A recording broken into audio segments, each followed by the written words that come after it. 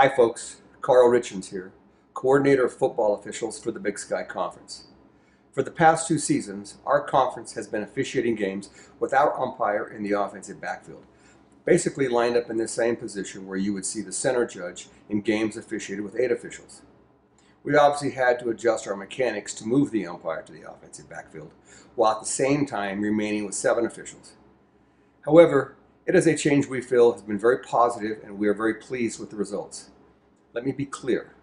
This was in no way an attempt to undermine the current eight-person mechanics, nor was it an attempt to delay our efforts to one day move to the eight-person mechanics. This was simply a financial decision made by our conference. At that time, and certainly not now, the Big Sky Conference athletic directors and head coaches were not in a financial position to provide for an additional game fee for each of their home games simply to accommodate a center judge. Having worked on the National Eight Person Mechanics Committee, I saw firsthand the value of center judge. With moving the umpire to the offensive backfield, our hope was to take the benefits of a center judge used in the college game and more fit with the NFL, who has their umpire, on the op- their umpire in the offensive backfield, and determining if perhaps we could come up with a prototype. It may not be the best situation, but it is one we feel is very effective and has been well received by our coaches. This is how we developed the mechanic. We had a meeting with our referees and umpires, and we took the seven person and eight person mechanics manuals and went through the two sections sentence by sentence and came up with this prototype. We also consulted and collaborated with some NFL officials to develop this mechanic. As expected, after the first year, we needed to make some small adjustments. But now, after two seasons, we feel we have a mechanic that is in good working order. Like all mechanics and evolutions in the game, we will always be making minor tweaks and adjustments. Here are some takeaways we discovered which you should probably consider before making this change. The umpire is going to run, and run a lot. That is how the center judge position was originally designed due to the number of hurry-up offenses used in the college game, and the need to get the ball in position in a safe and timely manner. Number two, you can expect a noticeable learning curve. It is easier to teach something new to someone than it is to unteach something, or in other words, break old habits. The biggest change, and where the habits needed to be untaught, mostly were with the referee and the umpire.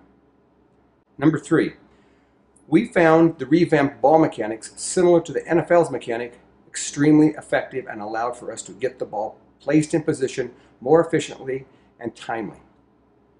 Number four, the referee will be more involved in ball mechanics. Not necessarily spotting the ball on the ground, that varies from referee to referee, but even if the referee doesn't spot the ball, they will need to be more involved. Number five, because the referee is more involved in ball mechanics, the deep wing officials and line of scrimmage officials need to take more active role in a substitution process, which we found they could easily do as they are not distracted as they, by much handling the ball. Number six, Having O2O communication is critical. This allows all the officials on the crew to assist the referee and communicate the evolving substitution process. And number seven, once the umpires get more accustomed to the new position, they will find themselves remaining stationary and officiating rather than being concerned about avoiding players. Let's take a look at some video and I will try to illustrate some of the bullet point changes when the umpire moves to the offensive backfield. Okay, we have a lot to cover here, so let's just move right down the bullet point sheet. First of all, let's start with free kicks. There is absolutely no change from what we've been doing in the free kicks prior to moving the umpire to the offensive backfield. Uh, umpire lines up in the same position here. We're following the guidelines as set out by the CFO last year where there's zones on the kickoff. Okay, we'll talk now about scrimmage plays before the snap. Okay, you can see that all all the positions except for the umpire are in their normal position. Line of scrimmage officials, deep officials, back judge, referee. The only change is the umpire is not in the defensive backfield. He is lined up in the offensive backfield. Now, where he lines up, how deep, we're not going to regulate that too much. Generally, no less than 10 yards, no more than 15 yards. Keep in mind that umpire has to spot the ball, so he's going to be coming in each time to spot the ball. So the further back he is, the more he has to run. Conversely, the tighter he is in towards the line of scrimmage, the more he'll have to move if there's a sweep to his sideline. Width is determined by where he's out on the field. Here, if the quarterback rolls to his sideline, he can stand still and let him pass in front of him. Or if there's a sweep to his sideline, he can stand still and let it pass in front of him. If it goes away from him, obviously he has a referee that can cover the field. We tell our referee and our umpire depth, or excuse me, width is best. The better width you have, the better view you have on it. That said, keep in mind, umpire, how much you have to travel at the end of the play. Let's talk about counting players now.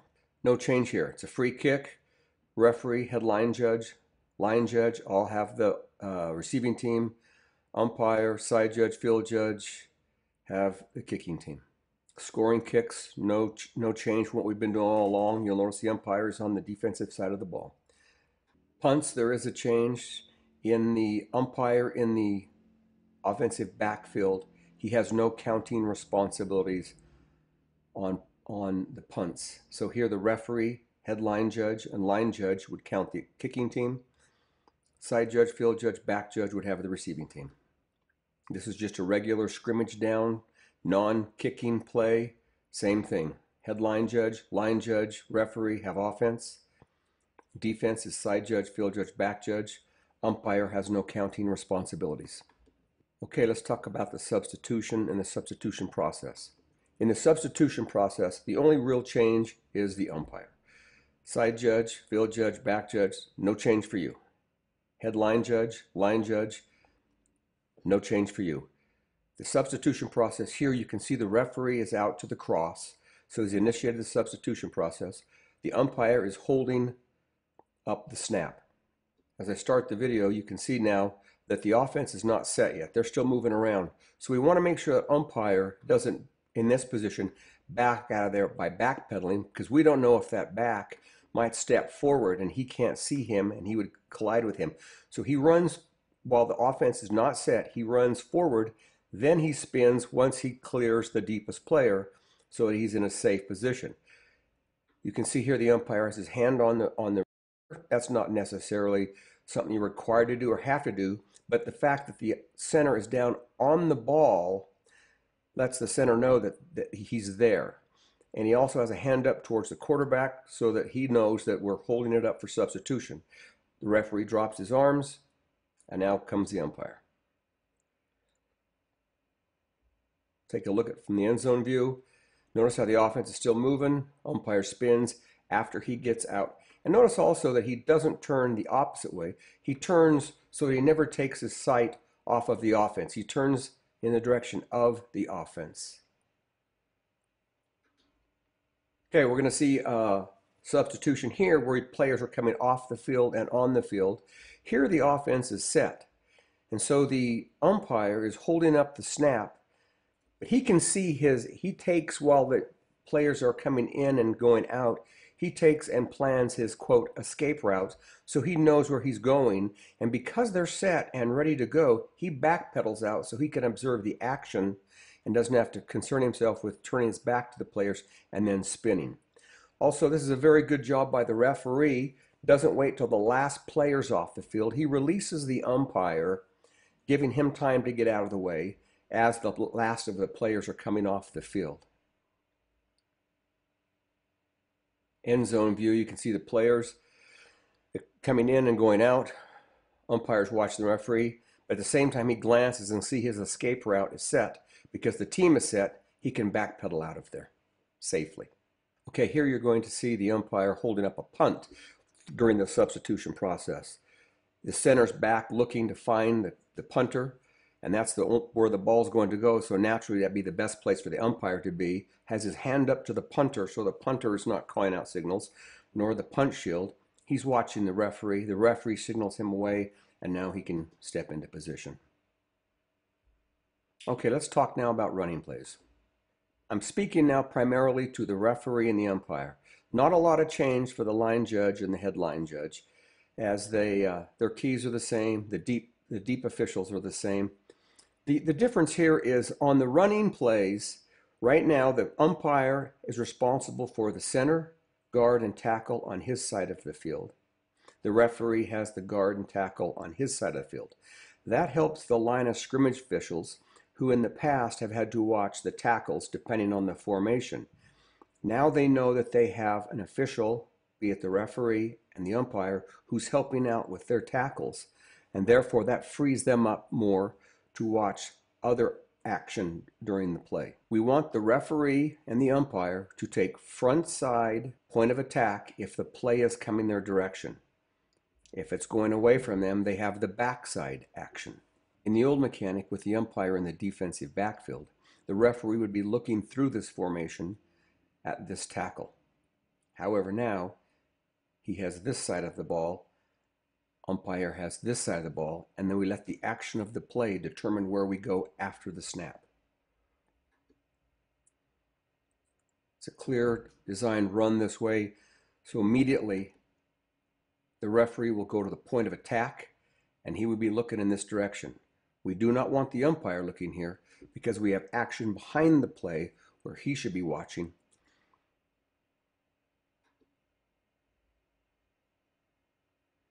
Okay, let's look for front side and back side. Okay, front side is here, referee's in here looking, umpire's looking here.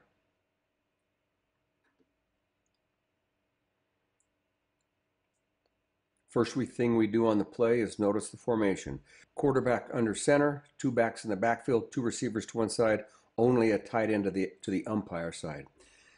So we know he has help with the uh, tackle, with the uh, line of scrimmage official at the top of the screen. As the play develops, it goes to the umpire's side. He stands still. There's no need to get happy feet. Just turn, watch the action. See it's run. Point of attack is here. This is the umpire's eyes here. Referee, this is a habit you have to break because you've always followed that and gone with it. You have to trust your umpire to take that action, and you now have to shift your eyes to backside of the play.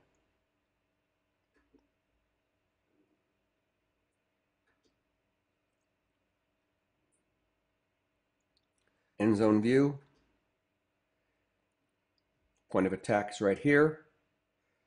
Good job by the umpire to be looking there. Referee, you're looking backside. I want to stop it right here. Notice the ball boy up there in the upper right corner of the screen where he's coming in. The play ends outside the numbers, so we will be getting a new ball. Notice the ball boy's coming in from the offensive side of the uh, back in the offensive backfield and we will discuss that more later during ball mechanics. Umpires, if you've never followed the play to your side of the field because you're now in the offensive backfield, it's new to you and it's a challenge at first, but you have to follow the action of a quarterback. This is new for the umpires. Quarterback gets caught, scrambles, now he has to run. Umpire goes with him, hesitates there for a minute because we have a loose ball on the ground but this is the correct way of doing it. You stand still as best you can as you read and recognize the offensive pass rush on your side of the ball. You're watching them loop around. You're looking for that threat to the quarterback. Now you realize you have to go with him, looking for action. Ball's on the ground. You're right there to spot it. Looking at the pass rush, watching the keys, looking at players on your side of the ball, on your side of the ball, meaning the sideline side of the ball. And now you go with the quarterback. First thing we have to do is read the formation. We know it's third down and four yards to go for a first down. The receiver, the defender at the top receiver is in press formation. We want that line of scrimmage to be looking at that. Although that's not his key, he can help the deep wing official if there's a quick hands to the face or action immediately after the snap. The back judge's key is in tight, back behind the uh, right tackle. So he doesn't really have to look at him closely because he knows there's no th immediate threat of a foul, and we have referee help there as well. So we want to read pass or run. Back judges, you're helping us out here. If this is a run, we need you to help us with those second level players, the linebackers. Immediately, back judge, you read run. Your help should be with those linebackers for second level. Don't worry too much about defensive holding. It's more the fouls against those linebackers. It's a design run all the way. It's an option run. So now umpire, you stay with him and you go with him. Referee, you have backside. Your tendency and your habit will be to follow that quarterback. You have to now turn him over to that umpire and watch for backside action. Umpire, you come all the way to the ball.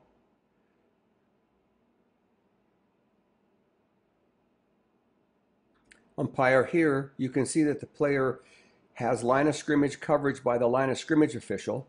He's out in space right now. For you to be watching that runner is of no value where you can watch just that action right behind, right directly behind the ball carrier and your head is on a swivel. Another play where we have a quarterback scramble. Just looks like the defensive linemen aren't doing much of a rush. They're just happy to be there and dancing. Now he's flushed from the from the pocket. Ref or umpire, you go with the player, clear into the bench area. That's your responsibility to go clear into that bench area and bring him out. It's a little easier here because he's going into his own bench area. But nevertheless, we want you going in there because we have another player from the opponent in there. Okay, let's read the formation. We're deep in the in the minus side of the field. Back judge, your keys are in tight. You're looking for run or pass. If you read pass, you can do that by watching the quarterback, watching the tackles. You read pass, you need to now know where your key is because you picked him out and identified him before the snap. If it's a run, we need help in the middle. It's a good job by the back judge here, noticing the left guard come off and block illegally low against the linebacker. This is what we would expect our back judge to see that and call that. Here's the flag you can see right there coming in. Back judges, you know that if it's a run, we need help in the middle because we don't have an umpire there. We need help with uh, second level blocks on those linebackers. Watch the left guard, fires out. Low on that linebacker, and the flag comes in. This comes in late because all I have is the TV video. I do not have the coach's video. Let's keep an eye on the center First of all, recognize formation. The back judge, your key is not, no, no receiver is being threatened at this point. So back judges, we want you to look and help out if it's a run play. If it's a run play and you identify run right away, we need your help identifying if there's action against the second level. You can see here, watch the center, comes out and blocks illegally low against the linebacker, which was correctly identified and called by the back judge. Right where we want your eyes to be looking to help out on that. Okay, I've put this still shot here only to illustrate that when we talk about the goal line positioning, nothing changes with alignment. We're all the same as we would normally do in goal line umpire. The only thing here is that we've asked if you can help. Help with forward backward pass, passer beyond the line of scrimmage, and pass touched behind or beyond the line of scrimmage. We still expect our line of scrimmage officials that they need to be good enough, even though they're watching the action and they have to get to the goal line, they have to still officiate the play and be able to make that determination of forward backward pass, passer beyond the line of scrimmage, and if the pass was touched behind or beyond the line of scrimmage. However, we are asking umpire to be aware of those and see if he's in a position to help out if necessary. Okay, let's look at some pass plays. It's important to identify what we see. First of all, it's first and 10, the plus side of the field, empty backfield, five receivers split wide. So, first of all, we should be reading pass. Referees and umpires, you have an extra key to help you is look at the tackles, how their feet are and how they're back a little bit. This is designed most likely to be a pass. As the play develops, let's look to where you should be looking. Referee your side of the ball, umpire your side of the ball. Don't be watching the quarterback until now when the pocket collapses, then you go in here. Good job by the umpire to go in. You have the, uh, not the forward progress spot, but you have the ruling. So you come in with your hand raised. Again, coverage areas. Watching your side. Once the pocket collapses, now we should probably have two sets of eyes, referee and umpire, on that hit on the quarterback. Umpire, you have the ruling, so you'll come in and start the play clock. Okay, let's identify it's first and 20 in this case. Four, it's a double double. You have four receivers wide. Nobody's in press coverage. Back judge, again, we're asking you to help out on that second level. Linebackers are taking a deeper position in this case. Most likely, this is a pass. Once we repass, we go back to our key. Back judge, immediately back to our key. Referee and umpire, you're watching the rush. Immediate first threat comes to, from the referee side. Referee, you're looking at that. Umpire, you don't want to look at it yet. You've still got action on your side, watching your side of the ball underneath. Now, referee, you'll go there. Umpire, you will turn your head as the contact occurs. That's a difficult task, and that's something that you'll get the feel for. You'll watch players, and then you'll feel when there's going to be a collapse on the quarterback and take your eyes there. You can see things sometimes that the referee can't see. Again, this is a difficult rush. This is one that takes time to learn. Referee, you're watching that outside rush all the way. Don't have to worry about the offside tackle that you've had to in the past. Umpire, you're walk, looking at the rush on your side, and you should stay with that. Referee's got that hit on the quarterback. You might glance there right when the contact occurs. Okay, we're going to see a roughing the passer and targeting call here made by the umpire. He correctly goes to the action on the, he's watching his rush on the outside, stays with that rush, and can see he breaks three. And we have a forearm to the head and neck area of the quarterback. Now you'll notice the action, and I'll slow it down here, is right directly straight lined in front of the referee. Referee did not see this action. He saw action, but not specifically see the action. And this is a reason why we like our umpire in this position. He can help out, see that action, and make the appropriate call for roughing the passer with targeting. We have two end zone views, one from this angle, exactly where the umpire to be looking, and one from this angle. Rather quick, but you can see that forearm, and the umpire's in perfect position to see that from that angle. Another example of targeting called by the umpire because in the right angle to see it. The transition here for referee is it's a run play, so he's going to go transition to the point of attack on a run. Umpire stays with it, behind it, and sees the helmet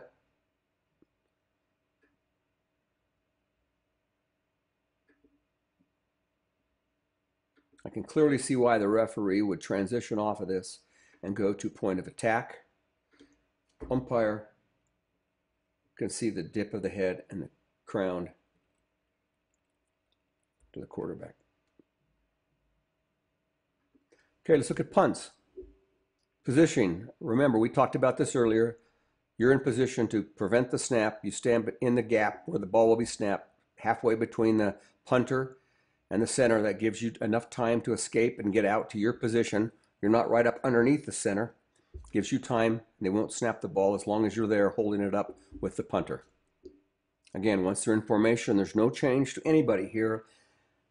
Headline judge, line judge, you'll do the same thing. Referee, same thing. Deep official, same thing. The only change here is umpire. You are now in the offensive backfield, and you probably and the we want you lined up just outside the tight end and even with the kicker. Also, umpires new this year in 2020, you need to make sure, especially when you're holding up the snap, that you're looking to make sure there's no one lined up over the center. Umpire, after the ball is kicked, you still have all the responsibilities you had in the past. You have to still follow that first wave of players. Normally, 10 yards downfield, when this when you're lined up in the defensive backfield, 10 yards downfield, and the ball's kicked, you wait until that wave passes. You stand and you wait till that wave passes you, and then you turn and follow it. With you now in the defensive backfield, you are at a 20 yard disadvantage, 25 yard disadvantage. So once that ball's kicked, you need to move quickly and with urgency to catch up to where you would be normally having just turned and jogging downfield. You need now Now you need to urgently, urgently move downfield and watch that action. Balls kick, away, and you go. Ball's kicked away. You need to hustle downfield because you need to catch up to where you should be. Ball's kicked away. Downfield you go. With much urgency. Still being able to officiate as you run. Umpire, in this mechanic, you are responsible for the punt shield. We want the referee to watch action on the kicker to know if the ball was tipped and to know if he was roughed. And so that shifts the eyes of the umpire now to the punt shield. Whether somebody's coming through over the top of the punt shield, determine if it was in the gap of the punt shield, or determine if there's a foul by the punt shield. Here you have a clear and obvious hold by a uh, player on the punt shield, correctly identified and called as a foul. Nevertheless, you have to throw your flag and still urgently move downfield. a good call to be watching right where you should be watching and then get downfield.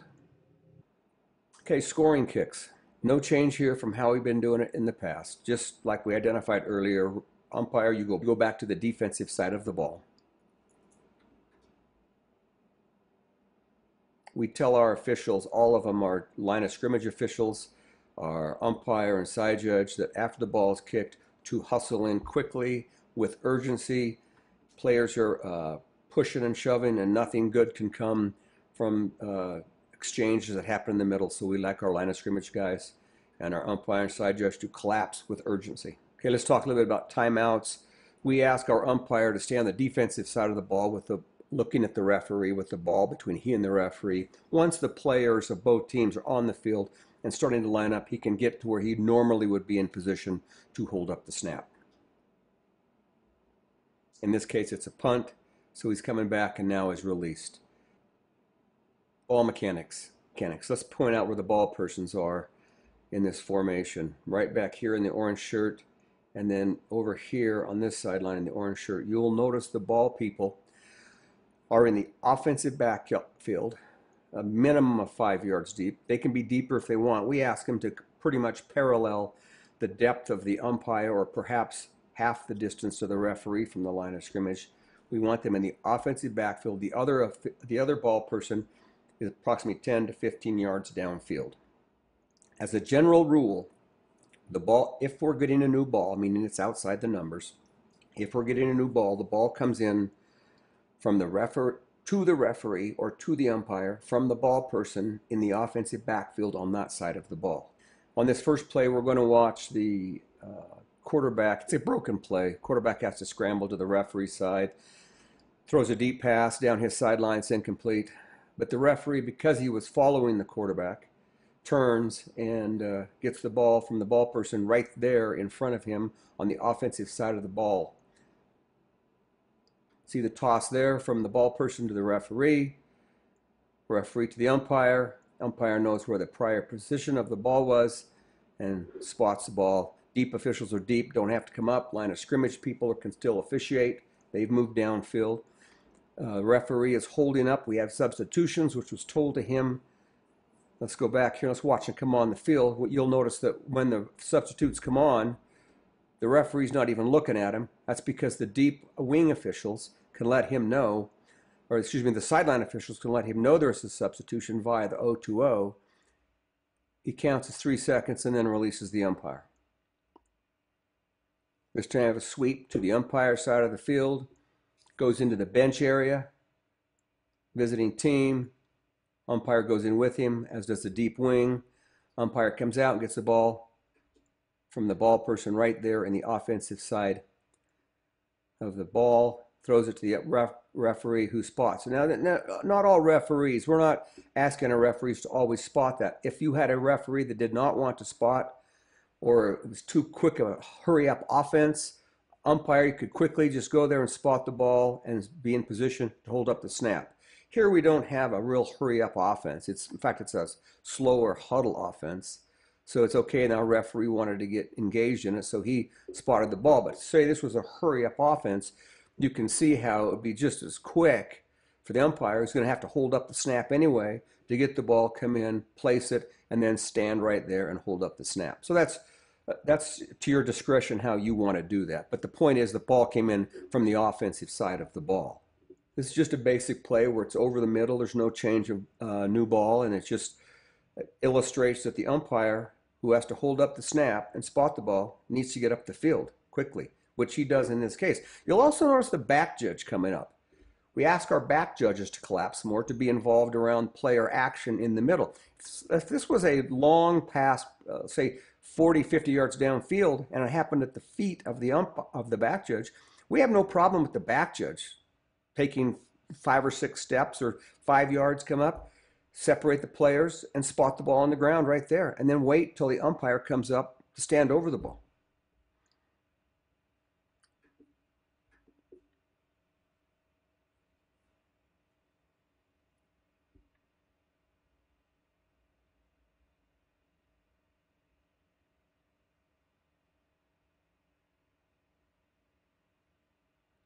This is a play that just goes up the middle. It's very tight to a first down. I think the line of scrimmage officials do a great job of pinching in tight on this because it's a tight ruling. I like the umpire coming in and I like the referee coming in on plays of this nature. Umpire's coming in hard because he has to spot the ball and break up players. Referee's coming in hard because it's a uh, quarterback running the ball and referee has uh, primary with the quarterback. So this just illustrates that action that can happen after the play, if we all collapse in, we can still manage players in a good tight group. Penalty enforcement, I want to illustrate here how the referee and the umpire do not communicate. We want our umpires to know what the foul is, know what the penalty is, and be enforcing that without even having a conversation with the referee get the ball. He's overhearing the conversation. Here's what it is getting the ball, waiting for the headline judge to mark, to mark off the penalty with him. They're looking while the referee's making the announcement. Ball is down. By the time that referee's done with his announcement, we should be ready to go. Okay, that's it for now.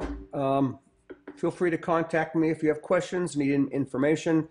We did a thorough several page mechanics document we've put together. If that's something you're interested in, please let me know and I can um, help you out with that. Keep in mind, this is not to undermine eight-person mechanics. This is to prepare us for eight-person mechanics, learn the center judge position, and when the finances allow it, we can move our eighth official into the umpire position.